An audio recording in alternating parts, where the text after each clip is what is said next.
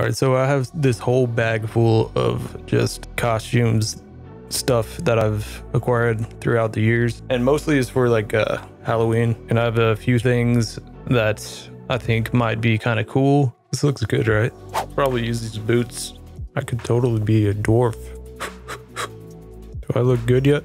I look like some kind of pirate boxer. Or maybe like a pirate knight. Oh, the kingdom. This is a pillowcase. All right, cool. So the costume isn't like super bad. I thought it was gonna be worse than this. but uh, I'm gonna jump into Photoshop and see what I can do with this.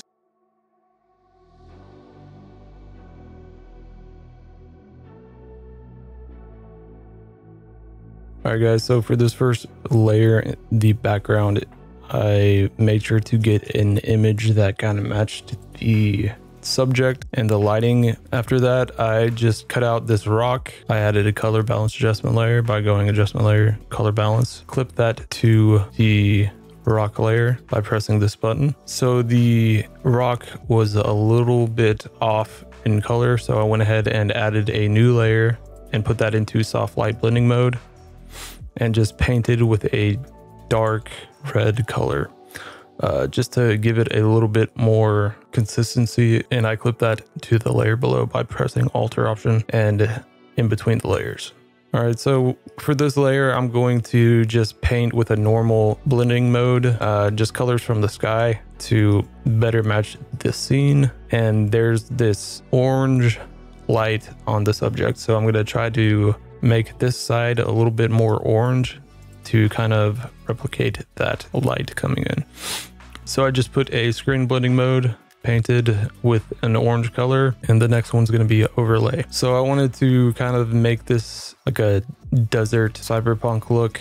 So I wanted a sniper. Um, so I just added this and I clipped a color balance adjustment layer to that and made it yellow and red to match the scene. The blacks were off, so I went up in the mid-tones to match the scene a little bit better.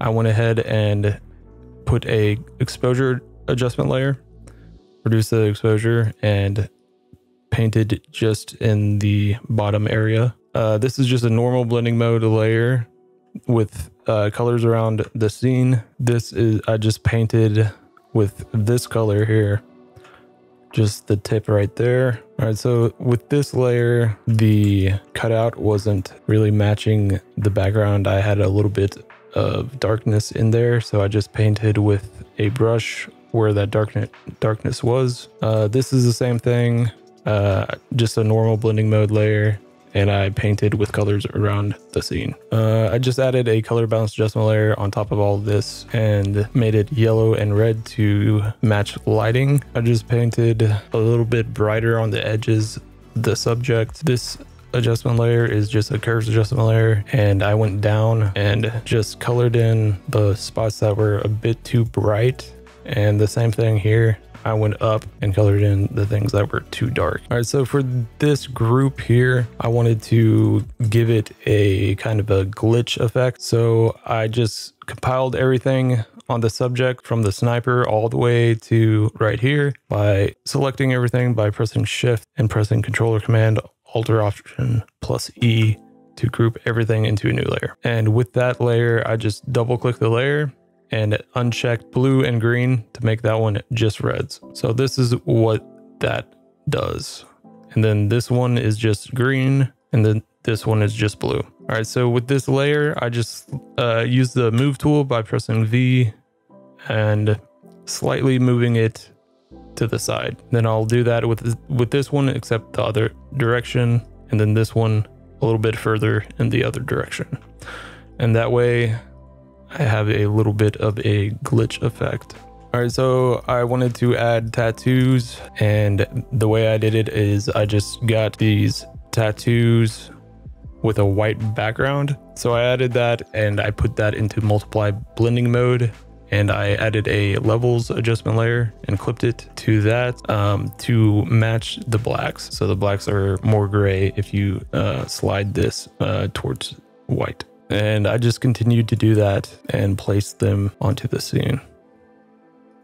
All right, so for this, I just added um, a little bit of an effect to the knife. I just painted really carefully the the shape of the knife, and I put that layer into screen blending mode. You can't see any black in screen blending mode. Uh, and I clipped a photo to that and put that into screen blending mode as well. So now the knife has a little bit of a cool effect. All right, so I got this HUD effect from uh, footagecrates.com. They have a bunch of cool stuff on there, so check that out um, if you want to. So I just added this uh, to my shoulder just to make it look like a shoulder pad. And I duplicated that by pressing Controller Command J and put that into linear dodge add. I also added a Gaussian blur at 23 to kind of give it a bloom effect. Also, I reduced that fill to 34%. All right, so for this, it's just a screen blending mode layer with a blue color with a really, really soft brush to just kind of give it a bloom effect on the shoulder. All right, so I compiled everything into a new layer by pressing Controller Command Alt or Option plus Shift plus E, and it will compile everything. I went ahead and put that into a smart object. I went to filter, camera raw filter, and I'll just let you look at the settings that I used.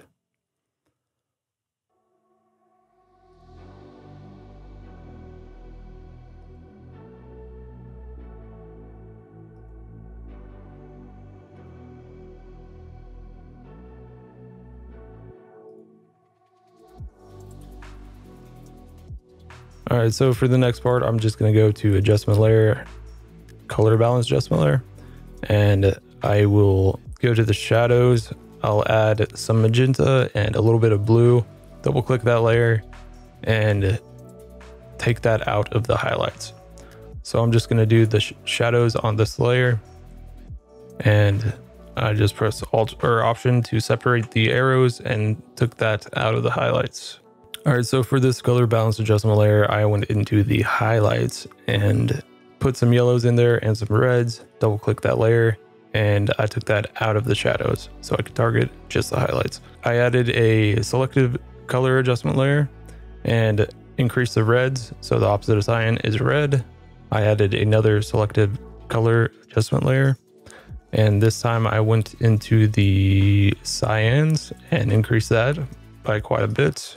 I added another selective color adjustment layer, and this time I went into the blues. All right, so the, for this exposure layer, I noticed that the shadows were a little too dark for my taste on this image. So I increased the exposure by 0.19 and I double clicked that layer and took that out of the highlights because it was too much in the highlights, but I wanted that uh, those shadows to come up a little bit. All right, so for this is just a color dodge blending mode layer. And I added some bloom here, some bloom here, and a little bit of bloom here. Reduce that fill to 17%. Uh, this one's just green.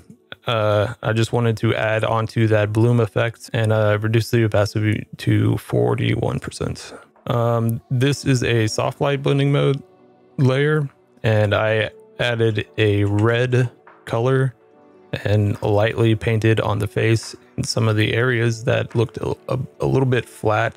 All right, so uh, the next part is sharpening. So what I do is press Controller Command Alt or Option plus Shift plus E to compile everything into a new layer. Right click the layer, convert to Smart Object, Filter, Other, High Pass. And I'll go to about 50 on the first one, and I'll put that into Soft Light Blending mode and reduce the opacity to 63%. And that way there's some sharpening in the image. And that varies uh, with each image. Sometimes I go down to like 20%. All right, so it's just the same thing on this one, except for uh, this one is just for the face. So I did the high pass at 2.5 pixels. Um, and I masked out everything except for the face. So for the noise layer, I just press Alt or Option plus the new layer tab and put that into soft light blending mode and fill with 50% gray. Uh, right click, convert to smart object and filter noise, add noise. And I do that at 20% on uniform. Um, for this image specifically. All right, guys, thank you so much for watching. Uh, if you have any questions, please let me know in the comments and I will try and answer any questions you guys got. Please like and subscribe if you have not already. I would very much appreciate that. If there's something that you would like to see me edit, uh, please let me know in the comments and I will definitely give that a try. Also, if you would like me to see any of your art, feel free to tag me on Instagram at jfarmphoto. I would love to see that. That's all I have for you guys. Have a good one.